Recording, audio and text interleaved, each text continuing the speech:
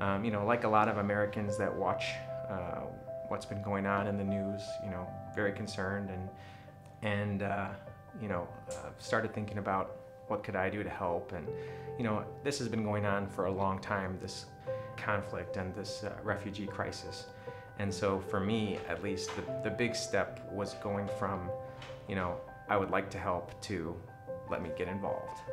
People here need a lot more help than like uh, people outside realize. They're not scary, they're not, they don't have any ulterior motive. Like I've asked several patients who we had to deal with and you, and you ask them, uh, what will you do if the war stopped in Syria tomorrow?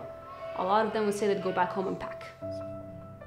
We, we, we say that uh, our, we are Syrian people killed twice. The first by the regime itself and the second by the silence of the world.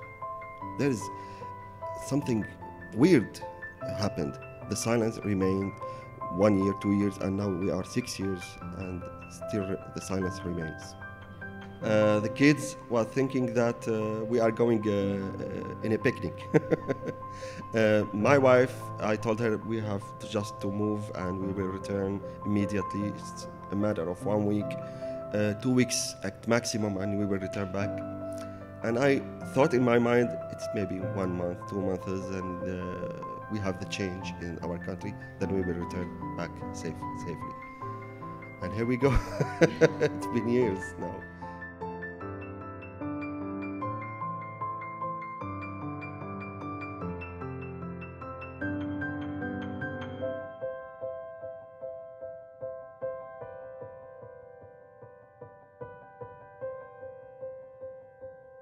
Um, this is my third trip uh, on a mission with SAMS. This is my second as mission leader.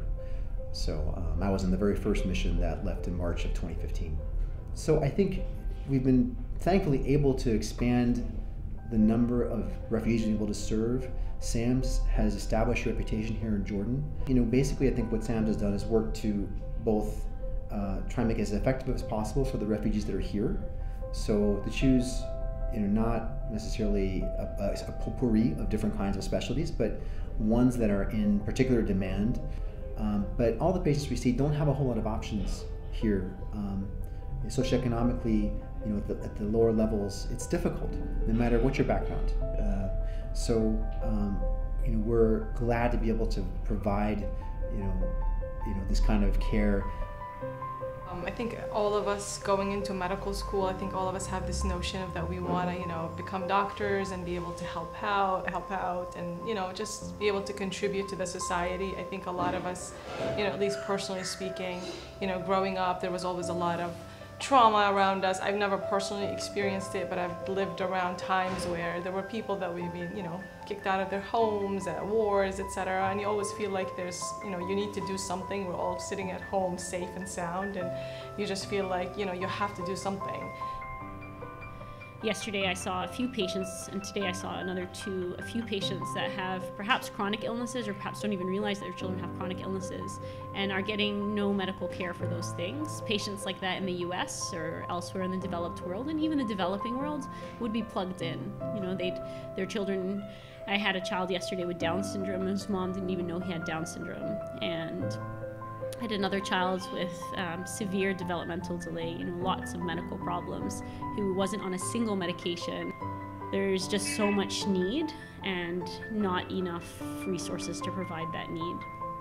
And I think thinking about where they came from and where they are today, you know, these are people who had normal houses and lives in Syria. They may have had a farm, um, and they talk about the sort of the things they had access to in Syria compared to the things they have had access to here, and it's just such a significant and drastic difference.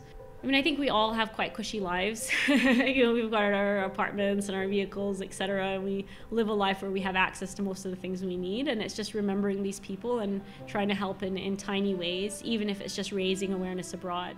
You know, we come here, we see some patients, we try to, you know, make a dent in the problem that's here and the, the lack of care that people have.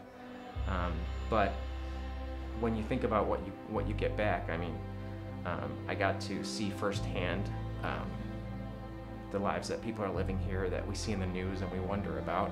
And then other part that I didn't really expect was I got to make a lot of friends, um, you know, like-minded people, very bright minds from around the world. It's such a satisfying feeling. when you help people. You, you achieve such an inner sense of peace. And I couldn't stop talking about it. I couldn't stop talking about how uh, horrible things were for some patients, how good I felt when they thanked me. Because when they thank you, they thank you like from the bottom of their heart.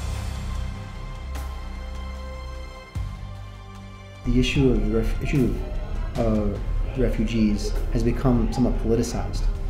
Um, what I could tell you is that um, refugees don't want to be refugees. None of my family ever wanted to leave Syria, and if they could go back to the way it was, they would in an instant. Um, so I think the, the ultimate solution to this is going to be when we can alleviate what has created the crisis in the first place with respect to the refugees. Um, if we can address their needs, be able to um, give them a sense of safety, give them a sense of hopefulness that they can, you know, move on with their lives.